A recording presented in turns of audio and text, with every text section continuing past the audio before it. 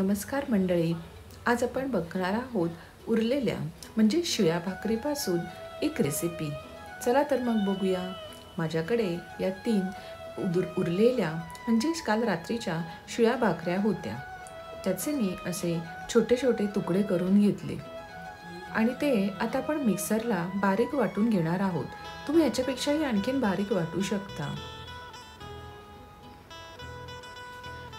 नंतर एका पॅनमध्ये दोन चमचे तूप टाकून ते छान गरम करून घेऊया. गॅस मध्यम आचेवरच ठेवला आहे. तूप थोडं गरम झाल्यानंतर आपण हे मिक्सरला वाटून घेतलेले भाकरीचे तुकडे त्याच्यामध्ये आपण घालणार आहोत. आणि एक चार ते पाच मिनटं त्याला छान परतून घ्यायचं आहे. जेणेकरून त्याचा कलर थोडा चेंज होईल. तुम्ही पाहू शकता की भाकरीचा कलर चेंज झालेला आहे. आता मी गॅस बंद करून ते भाकरीचे तुकडे एका प्लेटमध्ये काढून घेणार आहे. नंतर त्याच पा पॅनमध्ये मी थोडं अर्धा कप पाणी टाकून थोडंसं पाणी गरम झाल्यानंतर त्याच्यामध्ये हा एक वाटीभर गूळ घालायचा आहे.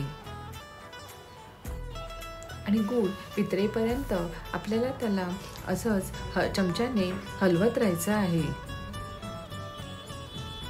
तुम्ही पाहू शकता. एक पाच मिनिटांनी आपला गूळ छान वितळलेला आहे. नंतर त्याच्यामध्ये एक अर्धा चमचा मी तूप घातलेला आहे.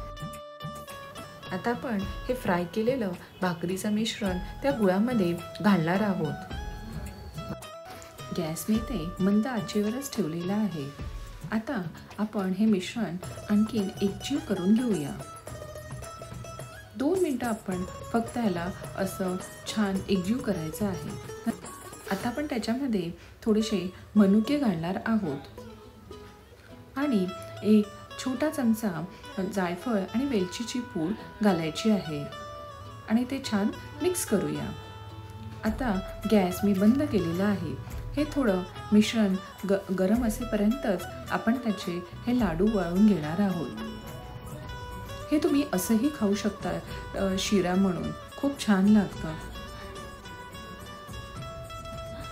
हे बघा मी अशा प्रकारे हे लाडू वळलेले आहेत. या बाकीच्या मिश्रणांचे मी हे लाडू करून घेणार आहे. असे आपले उरलेल्या भाकरीचे लाडू तयार आहेत. तुम्ही एकदा नक्की ट्राय करा.